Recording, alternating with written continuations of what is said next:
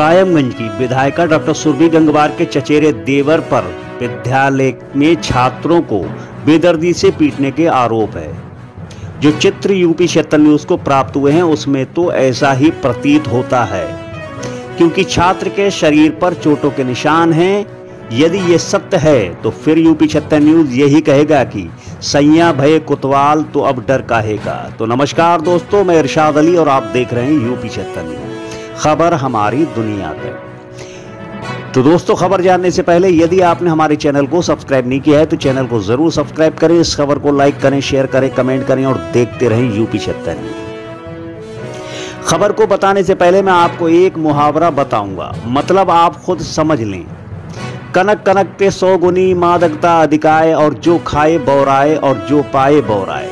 अब मतलब आप खुद समझ लेना। दरअसल ये मामला विकासखंड नवाबगंज के ग्राम भटासा के पूर्व माध्यमिक विद्यालय का है। इस विद्यालय में कायमगंज विधायिका डॉक्टर सुरभि गंगवार के चचेरे देवर निखिल गंगवार पर मासूम बच्चों को दानवों की तरह पीटने का आरोप अभिभावकों ने लगाया है। परंतु सत्ता के दबाव या यूँ कहें कि भय के कारण पुलिस के पास जाने की हिम्मत नहीं जुटा पा रहे। सूत्रों से मिली जानकारी बा परिवारजनों के कथनानुसार छात्र विद्यालय परिसर में पेड़ के पास खड़े थे और टूटे हुए पत्तों से। लव कुमार पुत्र राजकिशोर जाटव, अंशु पुत्र हृदय और नंदू पुत्र अशोक खेलने लगे।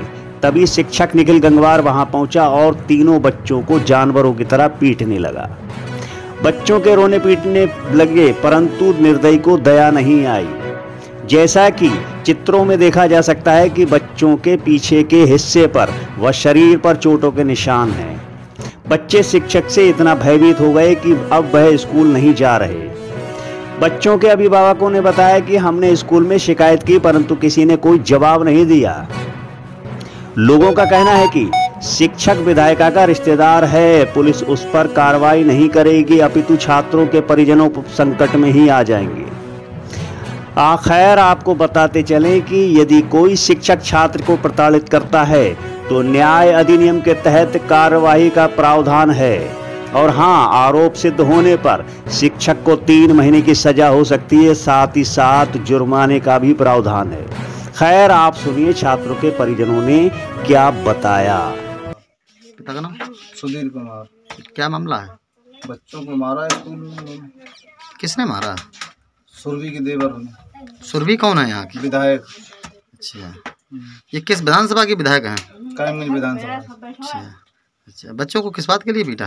जो बच्चे स्कूल जाते थे आप तीन दिन हो गए बच्चों के एडमिशन कराए। तीन दिन में बच्चों गए खेलने वहाँ बच्चों को पीटा पकड़ के सागौन का पेड़ तोड़ के। अच्छा सागौन के पेड़ से पीटा? था सागौन के पेड़ जो पत्ते पड़े थे वहाँ बच्चों ने उठा लिए। हम्म, और उसी वजह से बच्चों को पकड़वा के उन्हें पिटवाया है। अच्छा।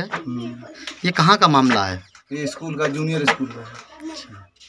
Junior school? ये तो प्राइमरी के बच्चे हैं। प्राइमरी के बच्चे हैं जूनियर के वो मास्टर हैं।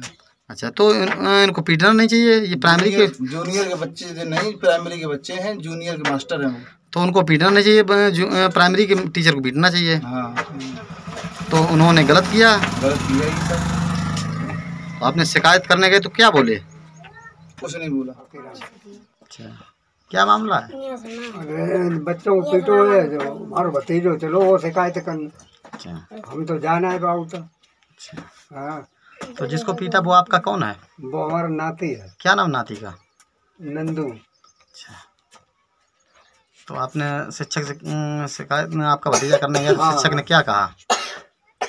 कुछ नहीं कहा। अच्छा। तो ये शिक्षक कौन है? हैं राजीव प्रधान के निखिल लड़का। अच्छा। हम्म, तो ये बता रहे कुछ लोग बता रहे सुरभि गंगवा गंगवार के जो है देवर हैं चचेरे हाँ हाँ हाँ। हैं? हाँ। कौन है? देवर हैं। किनके मैं जो सुरभि।